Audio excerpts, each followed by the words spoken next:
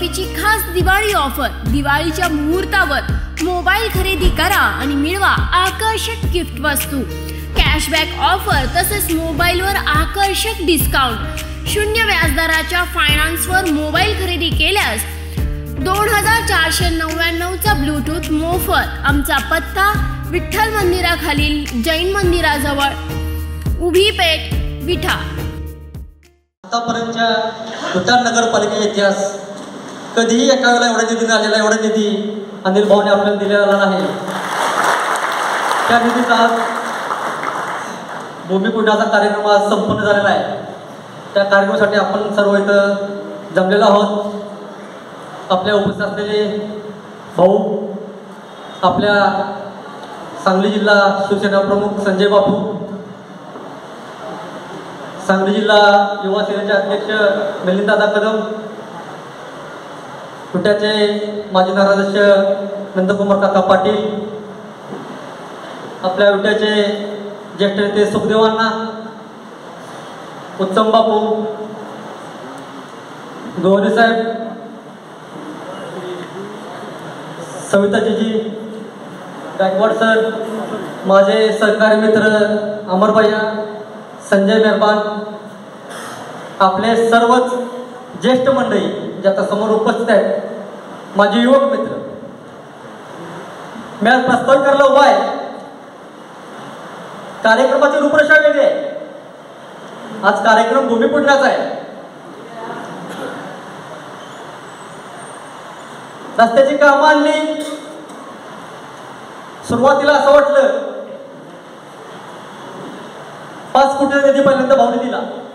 नगरपालिकेला पत्र दिलं निधी मंजूर झाला. एनओसीचा मागायचा विषय आला. त्यावेळेला प्रस्तावित पंच्याऐंशी कामं होती. पंच्याऐंशी कामाला एनओसी देताना नगरपालिकेतनं पंचवीस कामाला कात्री लावली.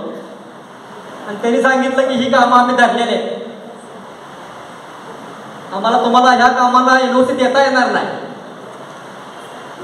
मी नामर शिकतोय शिवसाहेबांकडे जाऊन बसलो. त्यांना सांगितलं की तुम्हाला किती देता येते तेवढे सांगा. तेवढ्या कामाला एनओसी द्या. त्यावेळी त्यांनी चोपन्न कामाला एनओसी दिली. त्यांना असं वाटलं की ही कामं काय होत आहेत का? पुन्हा अशी चर्चा करा की हे कामं काय पैसे येणार आहेत का? पण आज चित्र वेगळं आहे. त्या पाच कोटीतली चोपन्न कामं. नंतर पुन्हा सात कोटी. असे जवळजवळ आपण विट्यातल्या दीडशे रस्त्यांना आपण सतरा कोटी निधी मंजूर केला आहे आणि हा निधी येत्या पंधरा ते वीस दिवसात ही कामं पूर्ण होतील अशी परिस्थिती आहे. आता हे झालं भाऊंच्या कामाचं. भाऊ काम सोडून काय बोलत नाही. माझी विनंती आहे तुम्हाला. आठवा तुम्ही. की नगरपालिका इलेक्शन दोन हजार अकरा पासूनचे आठवा. दोन हजार अकराला अडचणीच्या काळात ज्यावेळेला पार्टी उभा राहत नव्हती. अनेक जण आतनं निवडणूक बिनविरोध करायला लागले होते. त्यावेळेला ह्या अमोल बाबरने एकट्याने निवडणूक लढवली. कदाचित त्यावेळेला माझा पराभव झाला. पण तुमच्या सरसारख्या सर्वसामान्य लोकांची पार्टी उभा राहील. जे दडपशाही होती ती पाच वर्षात कमी झाली. त्याच्यानंतर दोन हजार सोळाची निवडणूक लागली. तुम्हाला माहीत आहे की आपण ताकदीने लढलो. मी माझ्या स्वतःच्या पत्नीची उमेदवारी केली. ही केली तुमच्यासाठी केली. आणि तुमची सगळ्यांची साथ असताना थोडक्या बघा आपला पराभव झाला. मी आणि अमर शितोय. हे दोन नगरसेवक तुमचे प्रतिनिधीचं काम करू लागलो. आता चर्चा काय करायची? काय काम केलं पाच वर्षात? काय त्यांचं आमचं जो होतंय? मी आणि अमर शितोयनं जे त्यांना नगरपालिकेत विरोध केलाय त्या सर्वांची रेकॉर्ड कागदपत्र माझ्याकडे आहे अमर शितोयांच्याकडे आहे योग्य वेळ आल्यानंतर जे लोकांसमोर मांडायचं आहे ते मांडणारच आहे. माझी तुम्हाला विनंती एवढीच आहे की दिशाभूल करायची आणि चर्चा करायची ह्या गोष्टीला आपण बळी पडता कामा नये. अमोल बाबत आजही सांगतो उद्या निवडणूक लागणार दोन महिन्यात. कधीही कुठे कुठल्याही वॉर्डात कुणी रिंगणार त्याचा अमोल बाबत तयार आहे. माझी तुम्हाला विनंती आहे की कुठल्याही भूलतापांना आमिषाला किंवा चुकीचं सांगतात त्याला बळी न करताना कार्यकर्त्याने आपण निवडणूक लढवायची आहे. आपण आपली पार्टी असू द्या किंवा जे आपल्या बरोबर येतील विट्यातले कुठल्याही पार्टी असू त्या सर्वांना बरोबर घेऊन निवडणूक लढवायची आपल्याला. आणि निवडणूक ती लढवायची नाही तर निवडणूक त्यावेळेला परिवर्तन करून दाखवायचं. माझी विनंती आहे कार्यकर्त्यांना की सतरा कोटी निधी भाऊने दिलाय.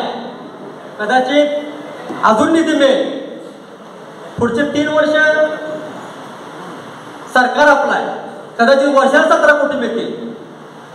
पण हा निधी देतोय तुमच्यासाठी. तुमच्या कार्यकर्त्यांनी जी तुम्ही कामं सांगताय ते ताकदीनं पूर्ण व्हावं ही त्यामागची भावना आहे.